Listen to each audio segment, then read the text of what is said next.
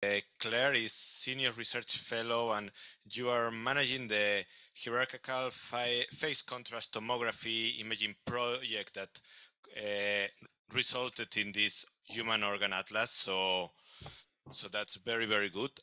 And I let you now speak. You have like 10, 15 minutes and I will interrupt you if needed because that's that's my greatest pleasure in life, interrupting people. So there you go. Thank you very much, and thank you for the, the invitation to speak and, and for the introduction. So I'm going to talk to you. Um, Andy asked me to talk a little bit about our um, experiences of the project and HIPCT. So just as a very uh, brief overview for people who aren't aware, um, HIPCT, hierarchical phase contrast tomography, is this technique that's um, reliant on the EBS uh, we scan intact human organs ex vivo. So these are, are donated and they're scanned, the entire organ is scanned uh, at an overview resolution of about 20 micrometers, and then small portions um, can be scanned at higher resolution. And it's a, a, phase contrast technique. And here it's just this is the overview of our sample preparation, our scanning, and then the data sharing and analysis side. And this is the part that um, would really uh, became involved with uh, PaNOSC team. So the Human Organ Atlas, this is the portal that you've already seen is accessible here. This is an old view. It now has this, um, this has just recently been replaced. And the idea of the Human Organ Atlas was really to enable the data from this technique to be shared uh, in accordance with the FAIR principles to get reuse and to get, you know, um, buy-in and collaborators and people to access and use the data. Um, so if I run this, let me turn that. So this is just um, showing you a little bit about the portal. Um, it is organized according to um, organ donors. You can click and we have all these abilities to search the data by age, by organ, and also by um, the pathology. So certain types of pathology are tagged. And this is something um, that's, it's really um, interesting and it makes the metadata that much harder to describe. And I'm going to talk a little bit more about metadata. This is the reconstruction um, that uh, Andy Audrey showed you earlier. So that's sort of an overview of uh, what was created. So, and um, so just to give you a bit of an overview of some of the figures from the portal that Andy kindly uh, gave me before. So these are the downloads, the data sets we have downloaded at the moment. Uh, there's about 50 data sets up on the portal, and these are just those that are downloaded. So by far the, the favorite is the whole um, brain organ, and this sort of accords with the interest from collaborators and people we've had. And then, uh, interestingly enough, one of our lung volumes of interest that's at a 6.5, it's like an intermediate resolution for us, is the next most downloaded. Um, I'm not quite sure why. And then a whole load of our other images here. Interestingly enough, a lot of the gallery images, so we provide just sort of a, a gallery image for people to take a look at are up there on the downloads. Um, this is the number of visits to our site uh, since the portal, since um, it was created. And you can see this big spike here. And Andy asked me before, he's like, it's interesting. I wonder what happened there. So I had a little look back through the history and this was the, the day that National Geographic published an article on the um, on the project. So it caused this big spike in uh, the number of visits we saw. Um, which I think is interesting. It shows the kind of reach of, of these sort of uh, public engagement articles and how they can increase engagement with the data. One thing that's um, interesting, we can't tell sort of the types of interactors. We can see how long people are interacting with the site with, but it's difficult to know if these are people who are just citizen science, interested in the data, scientists trying to download the data and engage. Um, that's not entirely clear. Um, I've got a case study in particular of the data. So this is actually something that just popped up the other day. So these are two papers um, written by the same group. They were published about two weeks ago on arXiv. And these are people who have downloaded the data and used it completely independently um, of us. So they've downloaded from the portal and they're using it to develop um, compression algorithms. So for image compression. So this is our brain data here and this is the heart data here. Uh, this is the ground truth of our data, then this is their algorithm compared to kind of other state of the arts. And this was quite fun for me because, uh, you know, pop, popped up that uh, this had cited our paper. And then uh, I looked through and, and you realize that they genuinely downloaded the data, reused the data in something entirely novel and kind of unconnected to, to what we're doing. So that was very interesting. One thing to note, um, so they cited the original paper, but the specific DOIs for the data sets aren't um, cited. So just a point of interest there. Um, we talked a little bit about um, new aspects and challenges. So I think you already saw, oh, wait, sorry, let me turn the sound down on that. You already saw, um, this is the interspectral data portal that, that Andy showed you earlier, setting up. And this was, um, we did this in response to the idea that people wanted to have more visualization in the portal. They wanted to look at the data set before they necessarily downloaded it. And a lot of our collaborators, medical collaborators, don't have the resource to actually download and visualize these data sets. So they wanted something that could be visualized on the fly. So we kind of launched into testing a few different things out. We looked at interspectral, and we've also um, looked at NeuroGlancer, which utilizes the NeuroGlancer cloud resource. And you can see it here. They're two very different approaches. The interspectral, um, very much the company with providing, they, they took our data off the portal, and have uh, performed, you know, some opacity uh, function things. This is that data set. NeuroGlancer is very much more something that we did within our own team. Um, it's an open source platform, uh, WebGL based, and we've used that as well. It has a, not the same type of functionality, and I think it highlighted to us an interesting thing. It's who are you making the visualization for? What do they need and what do they want? the other thing that it really highlighted to us, so we're trying to automate um, the integration of something like NeuroGlancer into the pipeline. Um, and it made us realize to make you know these data sets machine readable and stuff data curation data curation data curation it's come up quite a few times here and metadata um, automating these pipelines highlighted our data curation processes have flaws in that we need to fix and our metadata is continuously challenging us. And I'll explain a bit more about that next. So, so recently we've had quite a big increase in the data production um, from our project. So we moved from Beamline BM05 to BM18, and BM18 is, you know, becoming fully towards fully commissioned now. And we've had a huge increase in the speed at which we're producing data. So on the right hand side here, this was our original kind of data sets that we were getting and what sort of on the portal, you had the whole organ at 50 to 80 gigabytes, and you could have regions of interest, entire data sets are about 1.5 terabytes. We're now routinely producing a terabyte an hour of raw data. Um, our latest whole organ data sets are 10 times larger than they used to be. So we're 805 gigabytes for a single organ. Um, that's this whole organ overview. Um, and that's in a JPEG 2000, so it's in a compressed form. Um, and this is really challenging to be able to keep up the data pipelines. They need to be operating very smoothly and very efficiently to keep up with this scale of data production. And keeping on top of the metadata and the data curation is one of our biggest challenges that we have found and something that we're still actively working on. Um, we're also expanding have more and more collaborators in. We have this meeting soon for community access. Um, and I expect to see a big spike in the portal again following this because we'll highlight the portal at that meeting. Um, and we're really looking to expand the user community. And as we do that and people become even more aware of the technique, there'll be even more need for fair data and for this data to become easily accessible um, across, across the world. Um, so just as a little brief summary, um, HOA has been made a human organ atlas open to very many people. The data is being used and resulting in publications, which is pretty cool.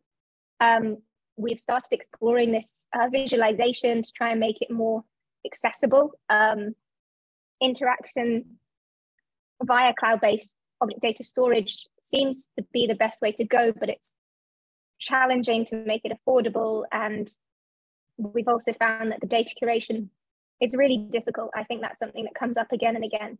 Um, we're growing. How do we uh, expand and keep pace um, with all this expanding interest and the expanding data sets? Um, so I'd just like to say a big thank you to Annie, the PaNOSC team, everyone who's helped us at ESRF and also to the rest of the team. It's a, a huge, a huge team that um, that work on this project. Um, so thank you very much. Thank you very much, Claire. So I'm wondering, do we have any questions online for Claire? No questions. Anyone has any questions for Claire here in the room in Grenoble? There is a question from Andy. So let's go. No, I just like to, I mean, it's very impressive what you've done. So it's really nice to hear. What I was wondering is what could we do to make the data DOIs more cited? Yeah, I don't know. It's an interesting one. Um, so it's already on the portal. When you click to download a data set, it says, you know, if you're going to use this data set, please cite this um, this DOI. Um, I'm not sure. I think you know a, requ- a requirement from like engaging maybe with publishers because ideally people should be providing references to their raw data in their publications. And so if, if there's a data access in your in your data availability statement, people ideally would be providing the DOIs there. So it's maybe engaging with publishers slightly, um, because they're the ones that are going to push for other people to be citing the DOIs correctly, I would say. Okay, well, thank you very much, Claire, once again. And now we'll go to the next talk that is by Hans Fangohr. Hans was our former Work Package for LIDA and now he's head of scientific support in Max Planck Institute. And you also, I think that go from time to time to the Uni of Manchester to, to do some, some lectures. You are a professor there on computational modeling. So, Hans. You are talking. Yes, we can hear you. You have your slides. All good. So you have 10 minutes I have 10 minutes. All right. It's Southampton, not Manchester, but it doesn't really matter, just a name. Um, so I've just learned that I'm the Jupyter guy, and so I should be talking about uh, Jupyter. Um, those are my topics. I'll drift to Binder because I think that's uh, full of potential. Uh, I guess we've seen all this. This is what a Jupyter notebook looks like. And the question you can ask is, why is it apparently interesting? Uh, why do people actually like to use it or accept to use it? Uh, and I wanted to point out um, this paper by uh, Fernando Perez and Brian Granger, who kind of started this IPython and later Jupyter Notebook project. And I thought they had the interesting idea that the notebook helps people to think and that this is quite important. And I would agree with that. Um, there are two other papers I would recommend, and I briefly looked at this one, the last one, which we have written as part of the PaNOSC project, um, where I've been involved in the proposal writing and the first two years. And so I opened this um, this paper, looked at it, and found um, that, of course, there's a large list of authors. Many of those are probably in Grenoble now, and that's very nice. And then I flicked through this, and um, it describes various use cases for Jupyter notebooks um, which we've seen today already that people analyze data from it, or we can keep those notebooks as a collection of recipes of recurring tasks um, and other applications uh, for which I haven't got time to talk about. There is a Jupyter Hub as an interface so that the notebook can be used to use an HPC or storage facility remotely.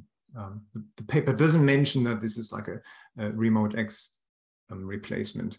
But I think that's what increasingly is happening, or at least we see with many users at European XFEL uh, and other HPC facilities.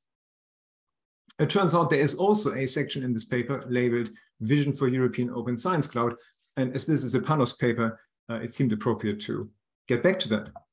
So what is that um, say? So this is from that paper. It said we'd like to have a, a data analysis framework that allows remote interactive data analysis and then it goes on to suggest that the Jupyter notebooks might be a possible or good choice here because they encapsulate what we have to do with the data, because they combine the data with the software. And of course, the, the software doesn't have to be in the notebook. Maybe we're just calling it from the notebook. Um, but it is the idea of bringing the data and the software together. And then there was this idea that one would be able to re-execute those notebooks uh, through some access points in the European Open Science Cloud. So what I want to do is to revisit this idea, say what has happened, uh, what is missing, and perhaps also what blockers we have in the way. And I want to start with the use case that Andy kindly uh, announced already, that of reproducible publications. Here, the idea is that we have a publication, and together with that, we publish some kind of data repository which combines the actual data that we care about and a, a notebook which does something with the data, for example, to produce the figures that are um, published in that paper. Here's an example which some of you may have seen already. This is the figure two from the paper. And with that, there was a uh, Git repository published on GitHub and then made available via Zenodo, where there is um, a notebook per figure, and this is how the notebook starts. And at the very end of it, this figure is um, created. Um, so this is the same repository here. We see the various notebook files for the important figures and findings in that publication. Once we have that set up, we need to talk about Binder. The Binder software and Binder project is the idea that we have some data repository. Often it's a Git repository on GitHub, but doesn't have to be, uh, which contains data and some notebooks, and also a specification of the software that is needed to execute um, the notebooks. And given these ingredients, Binder can then uh, be given the URL of this data repository, and it will build a container, a Docker container in this case, um, that contains the right software and it also installs a Jupyter Notebook server, starts the server and connects that server to the user's browser, which could be somebody uh, far away um, having the browser running on their laptop. Um, there is a binder service running, which is called mybinder.org. So this is open, anybody can use it. Um, and that will allow you to execute such reproducible papers in that way. For the example I've shown, the software was specified through a file called environment.yaml, which is a conda specification, but Binder will understand a number of different formats, more are listed here. And I think that was one important design decision in Binder that it accepts any existing standard for software specification, and it tries very hard not to invent a new standard. And this seems to work relatively well for the software specification.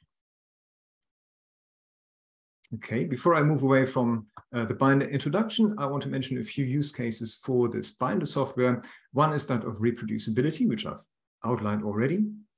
Um, one can also use it to provide zero install software to users. For example, for a summer school, one can prepare, prepare a repository which brings its own software environment, which is then cloud hosted through Binder and participants don't need to install anything and can just use the browser of their choice on the operating system of their choice on their um, hardware of their choice. A third use case I want to bring up is that of data access.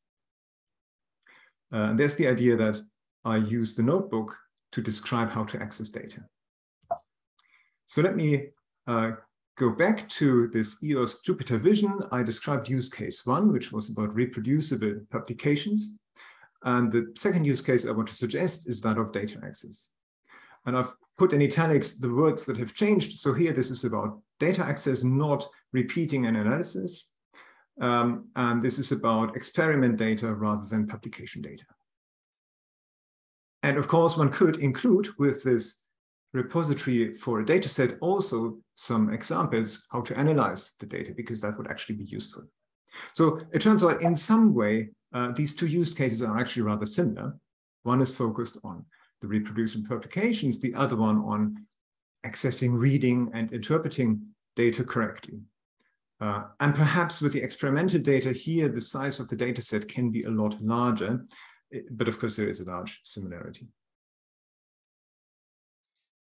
And this idea of accessing data through Binder has already um, has been realized from, from some institutions. So here is an example from the Max Planck data repository called Edmond, which uses the Dataverse software.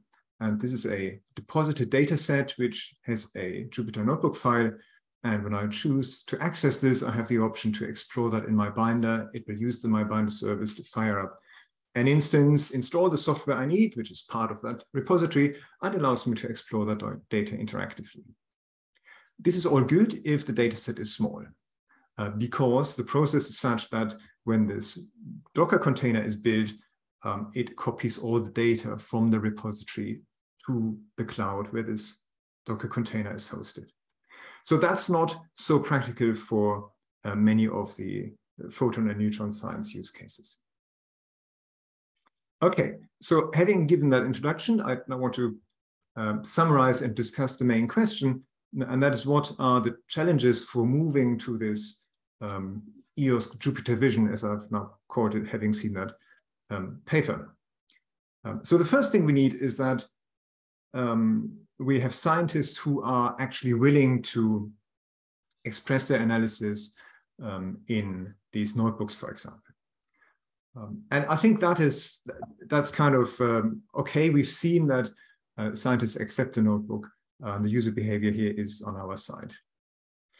Um, then before the software in these notebooks or in the supporting other files in that data repository can be executed, we need the right software environment.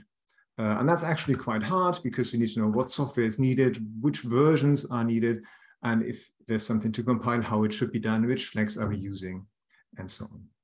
And this is uh, well supported by the Binder software specification, which sits on top of existing standards.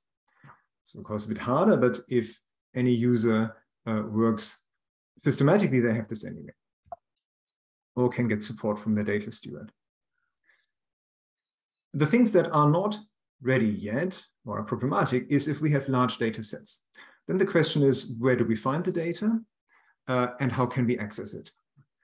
And there has been an attempt to extend Binder with these capabilities in a, in a recent grant proposal, which uh, sadly has not been funded because there wasn't enough impact, um, was the response of the reviewer. Um, and the other problem is that if the data is so large that we cannot make it available transparently, uh, we may need to have binder instances close to the data source. And these points relate closely to what uh, Jean-Francois already indicated in his, his presentation. Okay, so uh, to close, how fair is data access uh, with Project Jupyter? Not sure the findable applies. The accessibility from a technolo technology point of view is good because people just need a browser. The rest of the complexity is done at the server side.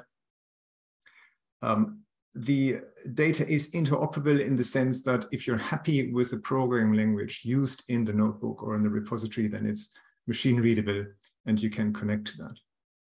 And what I think is really important from a practical point of view is to have this ability to recreate or preserve the right software environment.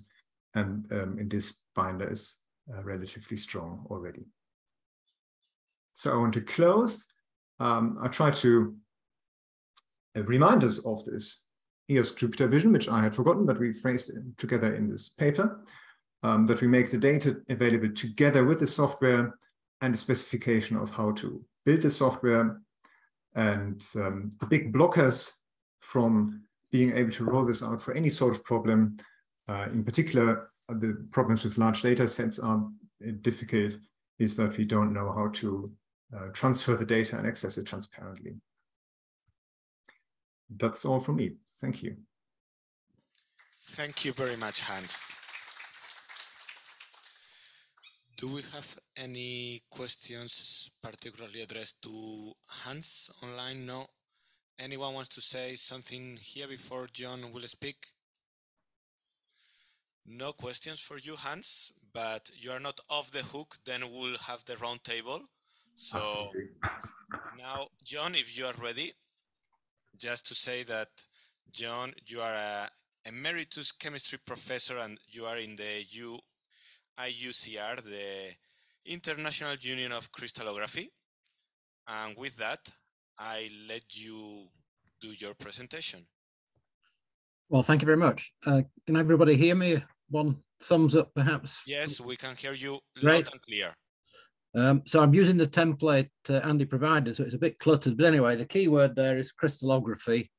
Um, and for my sins, I'm chairman of the IUCR's Committee on Data and its representative uh, to CODATA. And I mentioned one of the projects I'm taking part in with Protein Data Bank Japan uh, this morning. And I did thank Fabio uh, for his, his, answer and Jean-Francois, but I, I, couldn't, we couldn't unmute myself uh, this morning, but we can later on. Right, so Um, Andy provided uh, this framework, um, what's been achieved, what is still missing, uh, what um, uh, might be the ways to steer towards a more fair uh, culture amongst photon and neutron user community from our experiences in crystallography. Um, so I'll attempt to do that. Um, and I call it a user's vision. It's a bit of a broad church, of course, in crystallography, but uh, now the, the, the, visions, there's a huge overlap between the vision of PANOSC um, and IUCRs. And you see basically um, two identical lists here uh, on the left for PANOSC and on the right for IUCR. Um, I think we share trust in science as a paramount thing. Um, we share uh, a great enthusiasm for the new opportunities that large digital archives present in linking to the experimental data, not just the processed and the derived models. Um, our ways of consultation to our communities, of course, different. Um, we consult um, the IUCR commissions, of which there's uh, 20 or more, um, and you, you consult the various European photon and neutron facilities.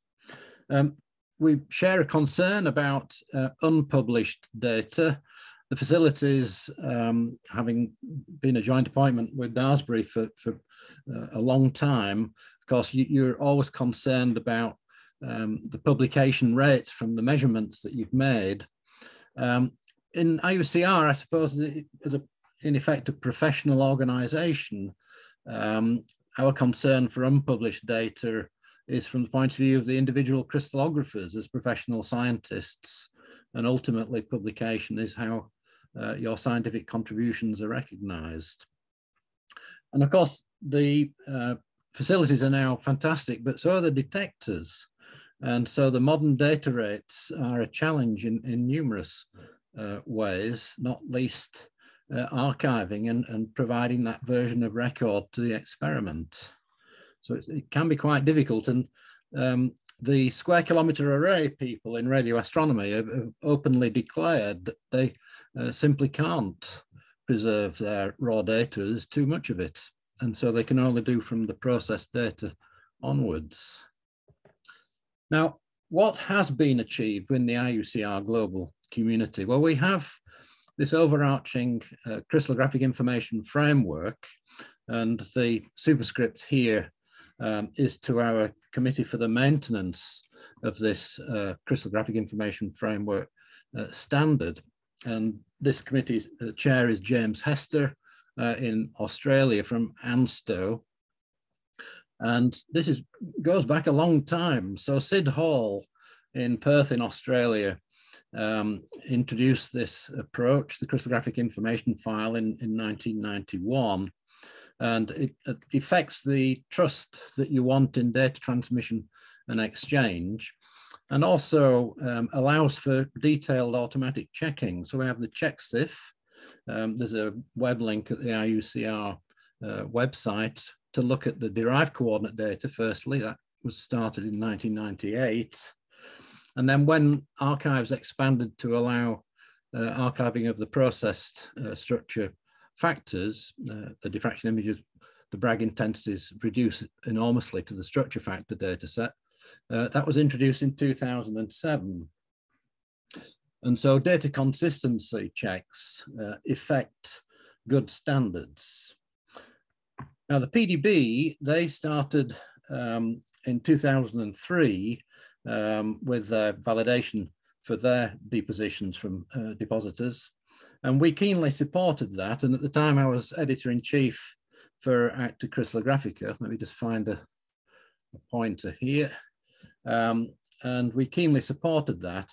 And the actual term validation report, um, which journals now uh, formally require um, in their peer review procedures, um, that was introduced from 2010 uh, onwards. So in terms of Andy's question, what is still missing? Uh, we would perhaps rephrase that to say uh, work still underway. And it's, it's coming from this uh, new opportunities and initiatives from being able to store the experimental raw data. And so that gives these four bullet points here.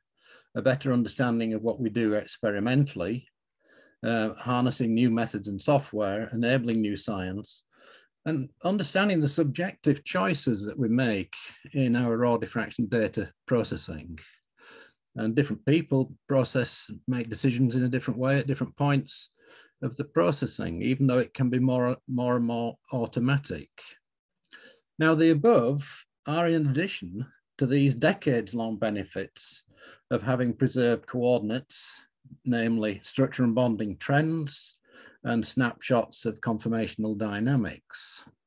And when the process diffraction data was starting to be saved, then of course you could then do re-refinement of the model structure um, that the authors had arrived at based on their own uh, uh, diffraction image data processing.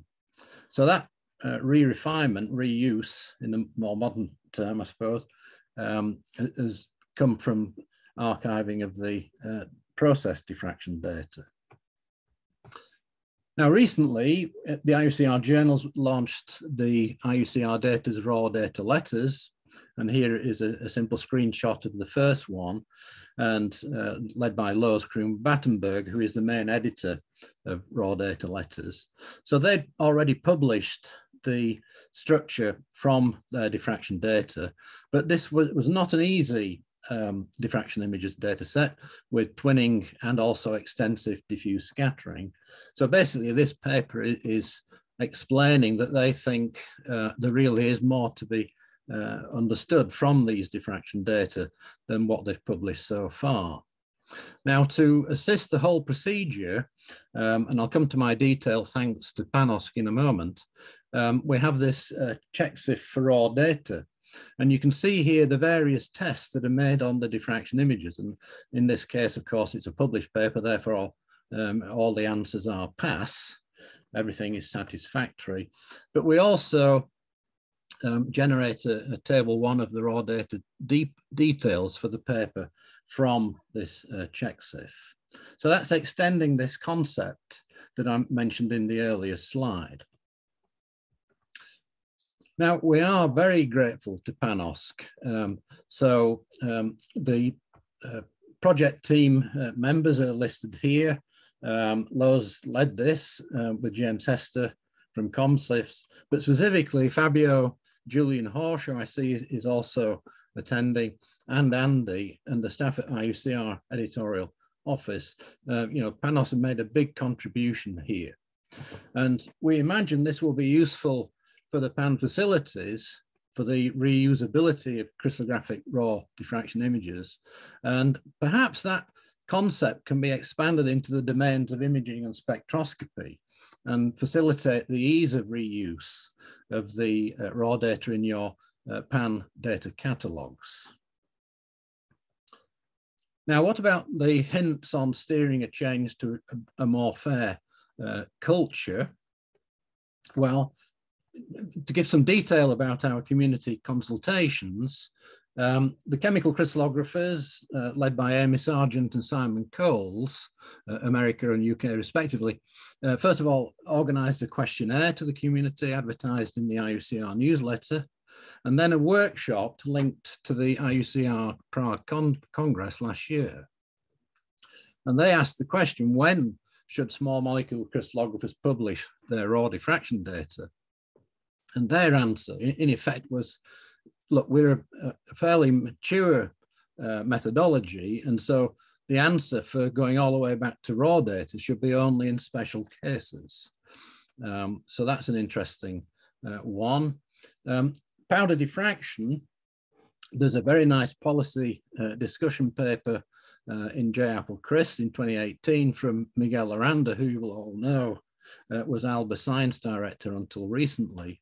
Um, and he looks at the challenges and the benefits. It's a very interesting paper, which the Powder Diffraction Commission of IUCR is, is looking at carefully. Now, already implemented, the IUCR Commission on Biological Macromolecules, led by, uh, chaired by Wladek Minor in uh, University of Virginia, USA, has effected changes in the IUCR Journal's note for authors. So that means that data processing methods and new structure papers must cite the underpinning raw data. And that, of course, is in addition to the PDB depositions that go with any, uh, any paper. Just to advertise, um, we've got a workshop at the next IUCR Congress in Melbourne next year in August um, on raw diffraction data reuse, the good, the bad, and the challenging. The um, uh, web link is here, and you can see um, we're at an advanced stage of planning. and I would also advertise that uh, Andy uh, Goetz is our one of our 32 uh, Congress keynote speakers. And so we're very much looking forward to hearing Andy's keynote next year. So um, all of this isn't me, of course. And so um, IUCR, uh, we had a diffraction data deposition working group looking at the uh, costs and benefits of extending uh, community archiving to the raw data. And we uh, were convened in uh, the Madrid IUCR in 2011, and we reported at the Hyderabad uh, Congress in 2017. The working group morphed into um, this standing committee uh, on data in 2017. You can find our uh, website here. And we've also been very uh, ably assisted in some detailed questions by the Data uh, Policy uh, Committee, and I give you uh, their web, web link there. And with that, until the panel discussion, at least, I've got a couple more slides to show you, but thank you very much. Thank you very much, John. So before we go with the panel discussion, I'm wondering whether there are any questions specifically about your slides No, so now we have Claire, John, Hans. So now comes the panel, and I don't know if anyone again has any questions for the three of them to discuss and to talk about. Otherwise, I have like a couple of questions ready. Andy's lifting the hand. He always has something to say. It's incredible. Let's go. The keynote speaker next year. no, well, also thank you just to John for the thanks because you're the one who's driving this. So you contacted me and uh, we could help you. So we're very happy to be involved with this because it makes a link to the scientist. But my question to all three of you almost is, um, Claire mentioned these huge data volumes now that they're producing every hour. Uh, John, you, you also presented the need to store uh, the raw data and make it accessible. Uh, and Hans also, we can't move binder, the data to binder and back. So what, what we're thinking is we have to go towards some more uh, data compression and to gain in that we have to also do lossy compression. But it seems like, you know, we just recently at ESRF, we had this, we have this experiment, zero crystallography, where a lot of work went into data compression but the first reactions, which are understandable, but I was wondering how to make that move ahead from the user group is we want the uncompressed data. But you know, we there, there's a financial cost now, which is really non-negligible in uncompressed data. So I'm thinking, uh, how can you, as a scientific community, help move towards lossy compression or you know, financially sustainable compression? Yeah we've thought quite a bit about this, so I, I can start if you like, um, if the other uh, fellow panelists agree. Um, I mean, I gave a hint, first of all, with the square kilometre array people. I mean, I think it's perfectly okay um, to just say, look, we can't do it. And, you know, that's their position. Um, now, I, I, don't think we are uh, in that uh, state of data uh, rates. And Andy, you and I and, and um, colleagues at ESS, Tobias uh, Richter and, and John Taylor now at Oak Ridge, um, you know, we put a, a very thoughtful paper, uh, we, we believe, into uh, Zenodo and um, comparing data rates with the generations of tapes. And you know, there's a lot yet to come with improved tape capacities. But of course, that's cold storage and, and not immediate access storage. So I think, you know, there is a bit of an, um, the jury's out in terms of irresistible force meeting a movable object. Um, I think thirdly, it's obvious from our consultations, I think it's different from yours perhaps, um, that different communities are not of the same mind. So the macromolecular crystallographers are very enthusiastic about raw data. It's not as mature a method um, as chemical crystallography. Um, and so, you, you know, there's um, a filtering going on there uh, about how much raw data should be preserved. And then fourthly, I think we need to understand better this unpublished data. You know, what fraction of, of measured data lead to publication? Because it, it potentially is a very big filter. Um, and of course, we want to understand better, um, you know, from your point of view, the facilities and, and for, for us as a professional society organization, you know, representing crystallographers, uh, what it means for, for perhaps all those studies that for the crystallographers make and don't get published. So there, I think there are some questions there as well, which we don't have the details, it seems to me. I, I, I pose that quite a bit this year as a que the question on fraction of unpublished data at facilities.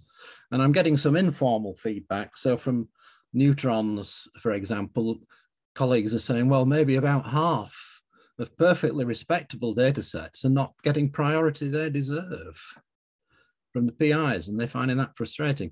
But I haven't had any equivalent feedback from the uh, synchrotron or X-ray laser uh, facilities.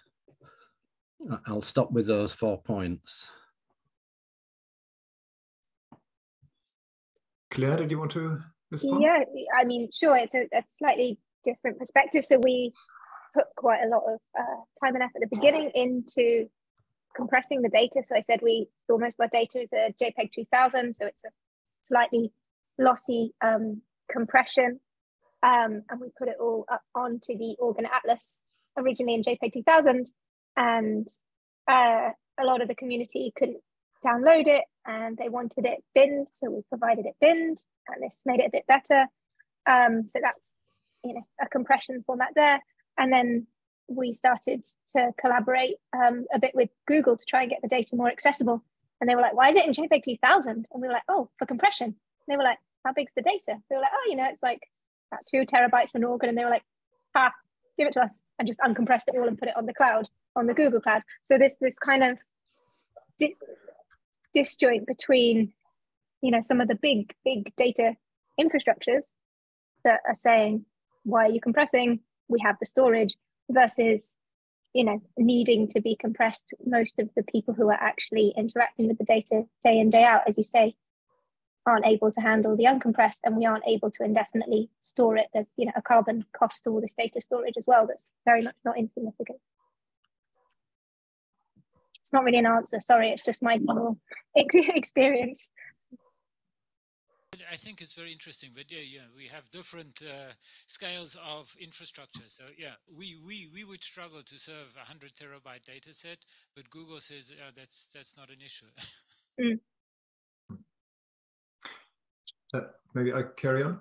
Um, so I would say that there's a period of data analysis straight after the experiment where one needs immediate access to the hot data for analysis. Um, and, and, and after that, I think there's a huge potential to save space. And so this could be after six months or, or some, even some user-defined period, perhaps. Um, and I would suggest that um, first one could try some social engineering to make users delete the data themselves, the, the not so useful ones, or at least select those that need to go. Of course, there needs to be some pressure to do this. But if um, they are afraid of the lossy compression, an alternative may be to um, just mark the data that is not needed later on anyway. Then I think we need incentives for this behavior. Um, because I know from European X-ray that the perception from the Beamline scientists and the users is that data is free data storage. You just press the button, it records, and there's no cost associated. This is managed by a different unit uh, and they're busily buying stuff, uh, but the connection is missing. Uh, one could also ask um, what what parts of the data have been used in publications three years after the beam time, and do we really need the rest? Or we could invent a PPP ratio, the publication per petabyte, uh, perhaps, and make you know, make make this a metric for uh, people to apply for new beam time. Of course, this will be field dependent and so on. Uh, but perhaps then it would be encouraging to delete some of the data where the scientist knows already um, a flap has been closed and there is no data, because that will improve this publication per petabyte ratio just by reducing the data. Okay, so I think making the cost known to users and scientists will help. But coming back to Andy's original question about the uh, lossy compression, because I haven't got a good answer, I had to work around that. Um, I think it might help to study systematically what kind of effect this has on the data analysis. Because in the end, these are scientists, so if we can convince them that it doesn't really matter whether it's compressed or not, then um, it's a much easier game, if that is possible. Just to come to your question about the cost of data, do you think it would have an impact on scientists uh, uh, if we mention the carbon footprint of data, if we added that? Yes, definitely. Okay, because I think that was one of the suggestions that I was thinking is that people realize this data came at a cost to the environment also, not just to the facilities. Yeah. Yeah, I, I think there's a complete lack of awareness of, of those difficulties and the, the efforts that we're dealing with here on the scientist side. At least at European XFEL two years ago. Okay, I mean, we have a question in the room, so I'll pass the microphone. Bear with me a sec.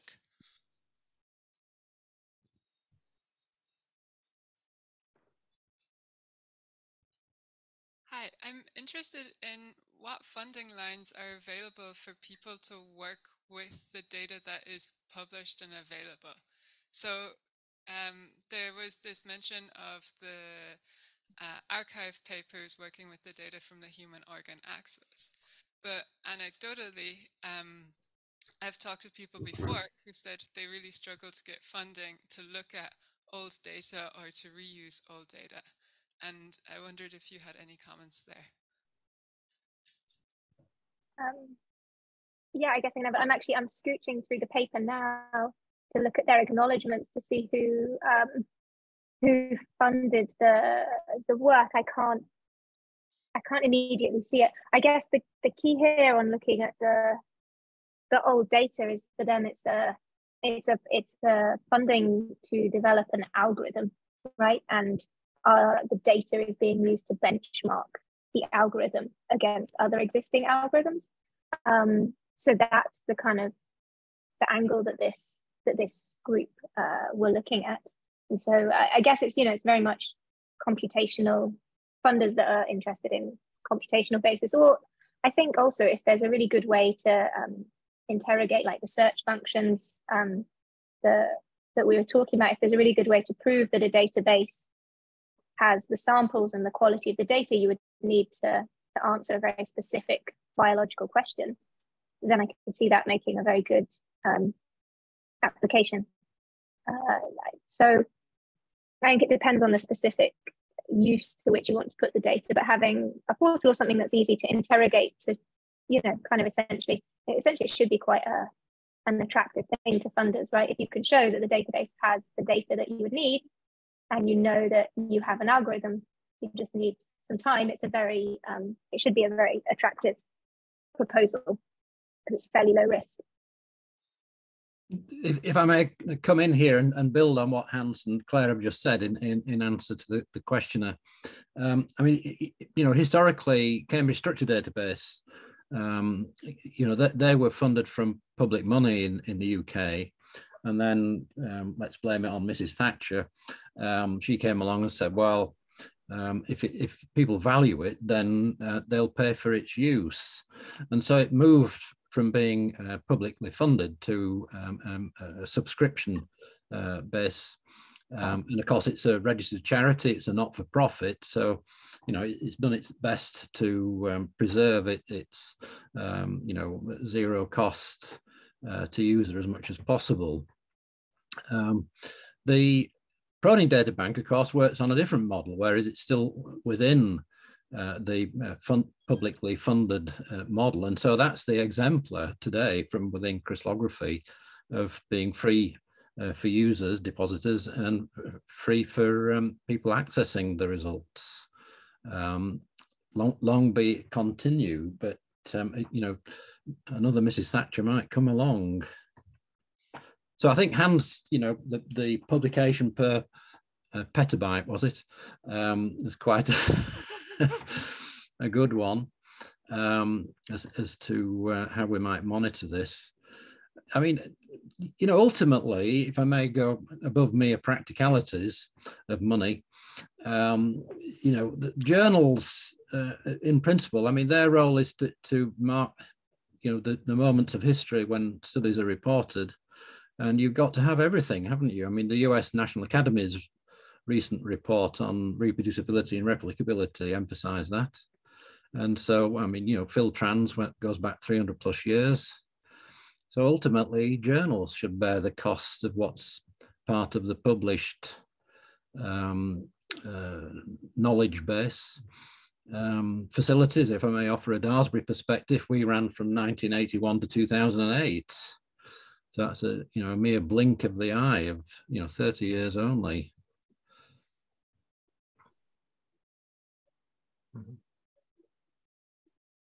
Journals will pipe up and say, "Oh no, we can't bear the costs," but um, there we are. Yeah, but but I, I, think there's some. It's a good point in this, and that is that the the incentive for the scientists to publish, and if having the data curated the relevant data set selected, therefore in size reduced. If that is part of the publication process and compulsory, then it will actually happen. Uh, at the moment, we have a scenario where some people are um, interested in that and maybe invest some extra effort, but I think many scientists will just ignore the um, what they should be doing for data quality, uh, even according to the, the submission guidelines of the journals. Yeah, and I think also, Hans, it, it, I mean, the most wounding thing that can happen to a scientist is somebody comes along and says, I can't reproduce what you've done. And so, you know, it's a great uh, asset to a paper to have the raw data, the process, the derived model, the workflow, and you explain it, you know, and these days with, with the web and not print, you can more or less take it outside the format of, of, a particular journal, of course, you can take as many words as you want and as much data space as you need to protect yourself against the accusation of irreproducible. And if you have done the analysis in some scripted approach, you can just deposit that. There's no extra work. It's machine readable. It's yeah, incredibly efficient. I mean, the Jupyter stuff is very impressive. I'm showing my age and I need to learn to use it. But the same could be done in a Perl script, of course. Is, uh... I'm confessing to pen and paper uh, tradition at some point in my work, yeah.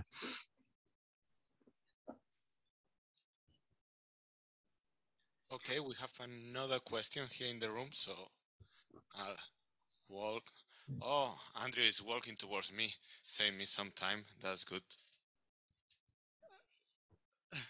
okay, so this discussion that's happening kind of links into a question I had about Hans's talk about the role of Jupyter in reproducible research, essentially. Does it do you think it needs to be Jupyter? Is there a benefit to being Jupyter over just scripts in a well-written paper? Because so when I try and publish things in a reproducible way, I started out using Jupyter, having a make file that translated my Jupyter into a Python script and then ran all the Python scripts and made all the figures and all that jazz. But as I'm doing more and more of this, I'm realizing that the Jupyter is not really actually offering anything beyond what the text of the paper and the scripts are offering. So I've kind of dropped the Jupyter part out of it. And now when I do it, I'm using, I, I don't know if you're familiar with the show your work package, which is uh, uh, facilitates this reproducible publication, but using scripts. So I'm just curious, why should it be Jupyter and why hmm. not just scripts in a good paper? Yeah. Um, there's so for the reproducibility, there is no technical advantage of using Jupyter. Um, if as long as you script your analysis in some form uh, with show your work or, or some other way or you know bash scripts makefile uh, whatever. This is all fine and equivalent. I think the benefit for jupyter is more a social aspect and that is that for some people it seems easier to do that kind of work in jupyter than in a purely scripted um, approach. And i think the the reason for that is that you have this interactive document that you can build up over time and that you can divide your analysis into smaller steps and you can get feedback after every step. And in particular, if something fails, you know where it is and you don't need to identify uh, that is in line 49 out of your 100 line script, but you can see which, which cell fails and you can inspect the variables and so on. So technically there's no advantage uh, in using Jupyter, but from a social aspect, it seems to work for some group of scientists. And once you have it there, um, you know, then you might as well use it for that um, purpose. But you could, of course, convert it to a Python script as you do. Um, you can also execute the Jupyter notebook as a script. So you don't need to convert that if you don't want to. But it's a, it's a good question um, because we, we didn't discuss it in that differentiated way.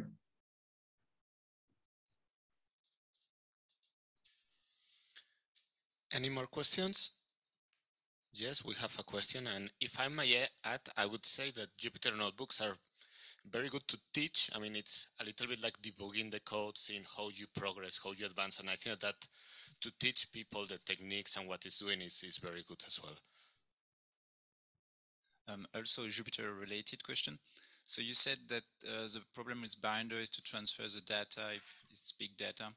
So do you think that Jupyter Hub instance in facilities that have direct access to the facility data can help in promoting fair data and fair reprodu and reproducible science?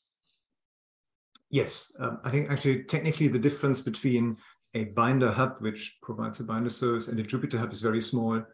Um, so this is absolutely the way to go because then you have the kind of portal, um, the binder instance close to the data, uh, and then you don't need to transport the data and you can, from your script or notebook, access just the parts of the data that you're interested in and it's on a local file system. So I think that's um, definitely the right way to go. And I think there are various institutions working on, on solutions like that. And that would also save us from having to um, invent a protocol for the partial data transfer, which I think is the, the difficulty here at the moment.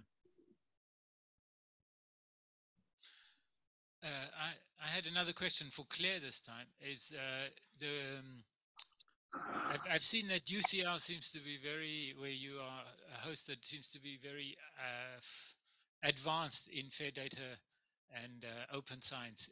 Could you, uh, how do you as a scientist, how, how does it filter down to you? Do you do you get like I mean, do you get training in that, or I mean, are you doing things uh, because UCL has taught you to do that that way, or how does it work?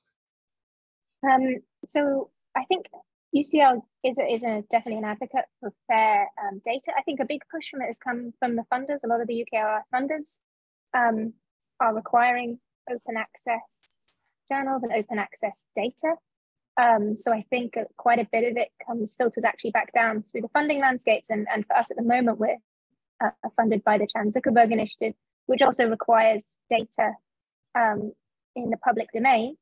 Um, and so I think there's there's a cultural awareness here for sure, um, which helps. Um, I think a lot of it is yeah a by the funders, and also for me personally, it's the, you know the it makes the it makes the the data and the, the work have a far bigger reach, which ultimately is is is the whole goal. So I think yeah, those are the things, and it, it's great. You know, if you're supported by the institution, then it makes a big difference. When you go saying you want to try and implement this type of approach, uh, you find support and you feel find people willing to to help you make it happen. Um, so it definitely plays a role, but I wouldn't say there's kind of formalized teaching, but there's a kind of a supportive atmosphere towards trying to create something like this. Uh, maybe in a very basic question, how to get more scientists to think like you? Uh, I think I think the biggest things are um, it's also it's it's this understanding like it takes a huge amount of effort to make the data fair. Like you know your your team and all the rest of the people who helped us do the human organ atlas. It's been a huge, huge effort. Um, and the it's come up a few times like the amount of time it takes to do the data curation that allows this type of work is not trivial and it takes the time of scientists yes you have data data curation managers, but you need people who know the data and understand exactly which bits of data are good, which bits of metadata are needed to do this. And I think there needs to be a lot more recognition for data curation as a scientific activity. So, you know, we're, we're pushing at the moment very hard to try and release about another 100 data sets through the portal. And our biggest challenge is to get the data curation for that done. And whilst we do it, we hold up um, publications on that data. Um, and then it's seen as, you know, there's not enough of a scientific output. And I think the data curation needs to be seen as a scientific output in and of itself. And that will encourage people to do it because they get a reward and a recognition for the time they spend. I would support that. I think that's absolutely right. Uh, I think it's about the metrics that reward scientists. And at the moment, um, curating your data so that it is useful for others has very limited benefit for the scientist. If anything, it feeds the competition who will uh, take your lovely data and write one nature paper after the other without having to have done the night shifts and the, the initial data analysis. Um, so one could consider uh, how can we change the metrics? That's hard. That goes into policies and, and politics. But for the facilities, there is maybe some uh, some hope to influence the process, and that is through the allocation of beam time.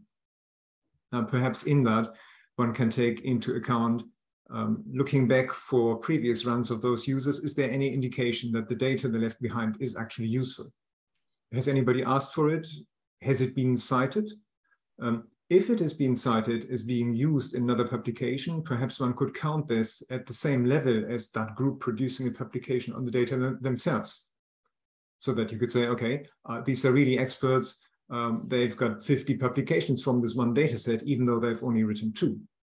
Uh, and therefore we award them the next beam time uh, more happily because they are likely to make a success of it. I think um, just one thing has to come back on that point. This idea, I, I, think a lot of people they worry about making the data FAIR for exactly the reason you said that you know you'll spend all this time curating and a group will take it and publish a load of stuff on it.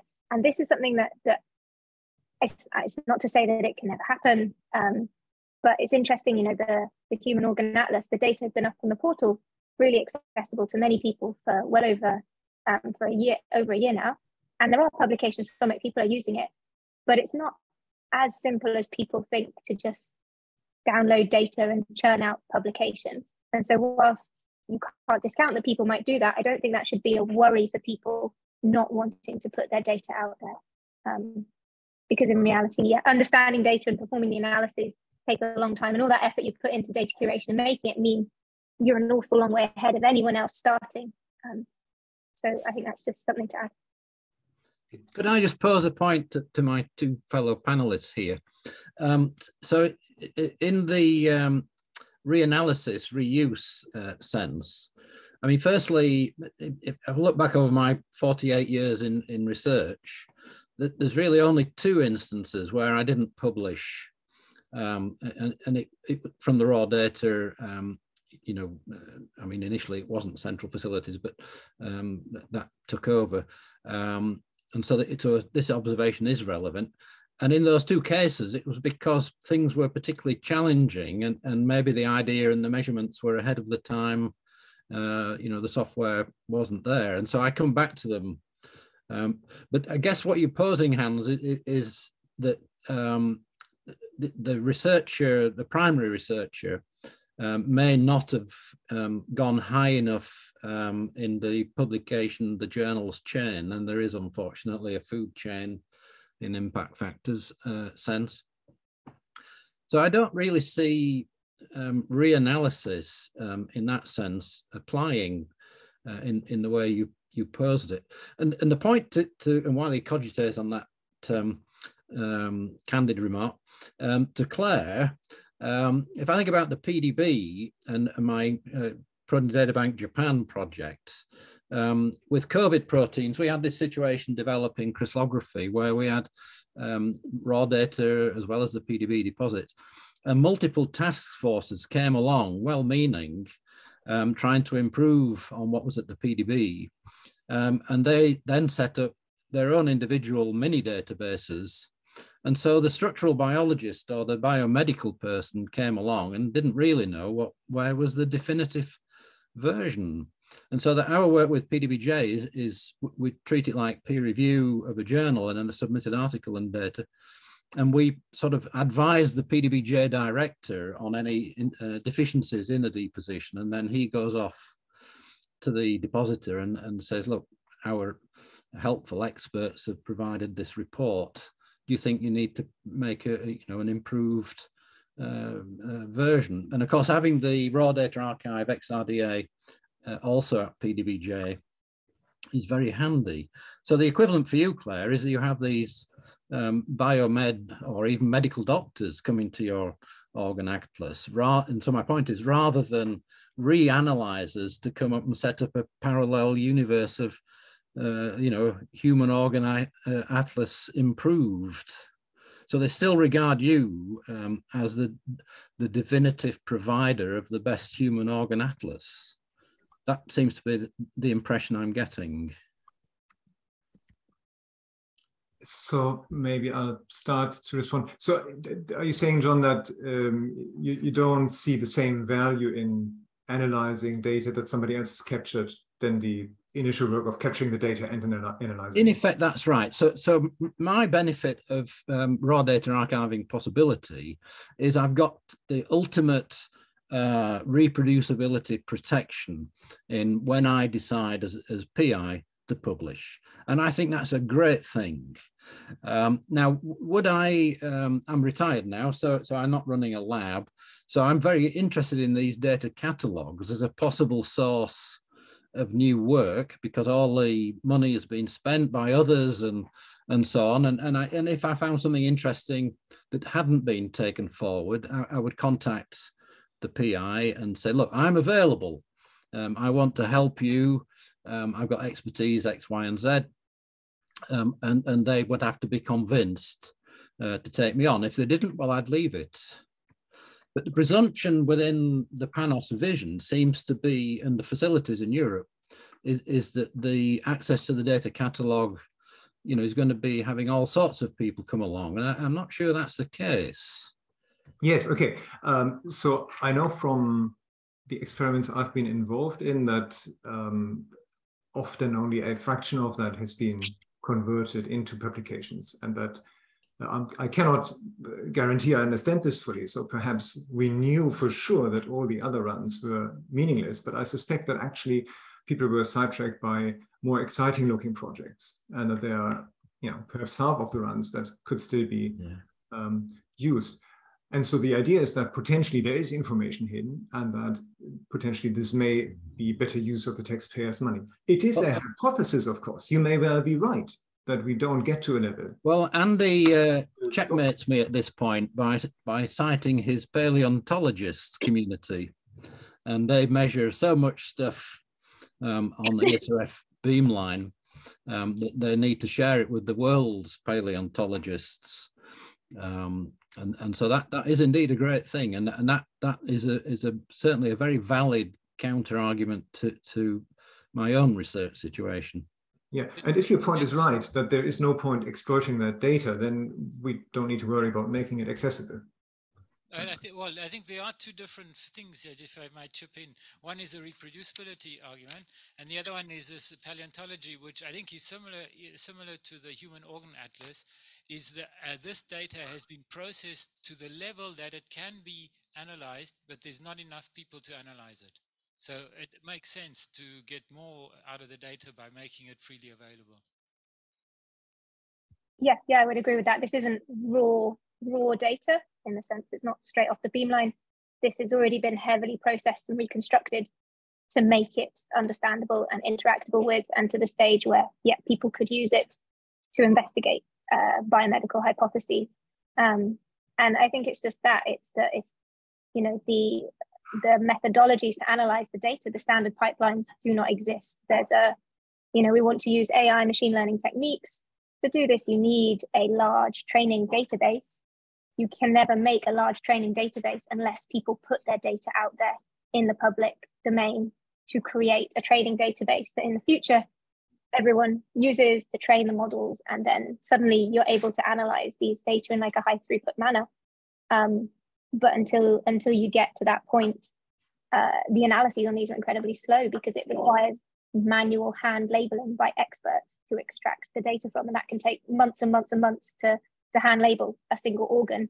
And we've got 150 organs in our back catalogue um, and two experts or something. So um, this is yeah the need to the, need to to share it is is to get those publications up and to get the data out there.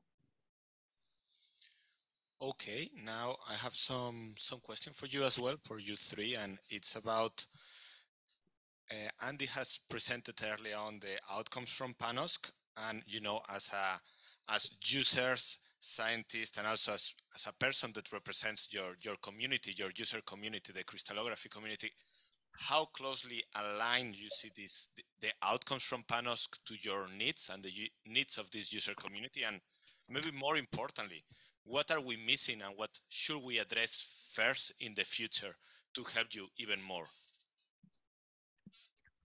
Well, I prepared a slide with my answers. Shall I show it? uh, oh, yeah. Right, so um, I, I, won't show the other few slides which um, were Andrew, Andy's original uh, questions. Um, so these are the ones that he posed to us yesterday. Um, how closely aligned uh, PaNOSC to crystallography? I think very well matched uh, is my answer. And I, I, I, document that by my slide about um, the bullet points documenting our respective visions with strong, uh, a strong match. Uh, what is missing uh, to implement open science at the European PaN facilities. Um, well, not all Europe's PaN facilities um, are engaged in what PaNOSC has done. Um, I, I, won't name names, um, but anyway, I think PaNOSC, what it's been doing, uh, you know, is, is really been pioneering and, and, you know, really congratulations on, on the achievements of PaNOSC and, and ExPaNDS. Um, thirdly, how can facilities encourage scientists to adopt open science practices?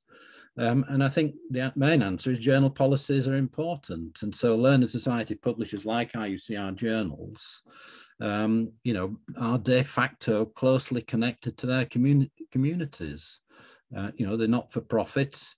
Um, you know, all the efforts in developing, you know, COMCIFS and checkCIF and all that over the years, yes, they come from uh, subscriptions, but they were not for profit um, uh, you know, journals all along. Yes, it was a small surplus and it was reinvested in the community. Um, now, I have one caveat on this point, which is a personal one. It's not an IUCr one, which is on this point of when to make raw data open. Um, and so I, I, mentioned in my whole, whole career, two uh, experiments were slow to complete, took greater than three years. Um, and I, basically, as PI, what I want to be the person to decide when those raw data uh, uh, are available. But I am willing to make to compromise with the facility and, and write a, a, an IUCr data, raw data letter explaining um, why my analyses are prolonged and at the same time uh, make those raw data uh, open. So I, I, think, you know, to generalize that, um, I think, you know, trust the PI more uh, than seems to be implicit in, in the approaches. Anyway, um, some candid responses to Andy's three questions. Thank you, John.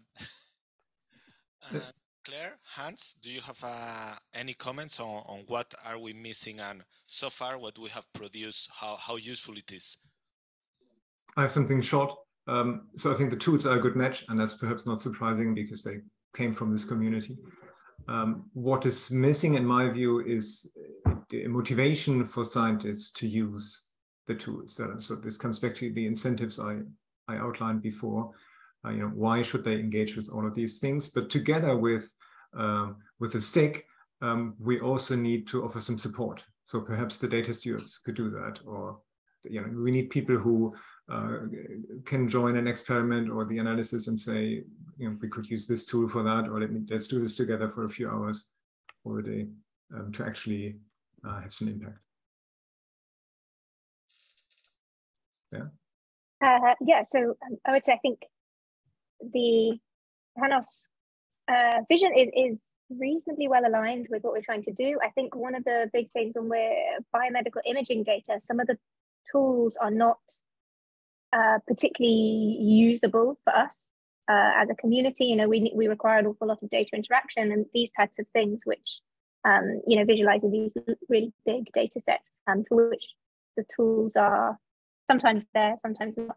Um, I think the thing that we need help with the most is this uh, this idea of data data curation, data um, the data stewardship.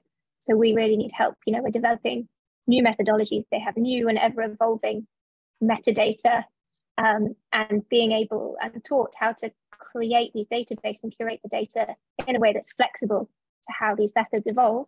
Otherwise, it, it just becomes so difficult um, and slowed everything up so much. So I think I think more support on data curation and teaching teaching people how to to do it in the first place uh, would be needed. All right. Well, thank you very much, Claire, John, and Hans. It has been great that you could spare some of your time to to do your presentations and to participate in this roundtable. So thank you very much. And now we'll do a little break and we'll come back at quarter to four. But yeah, thank you again. Thank you. Thanks.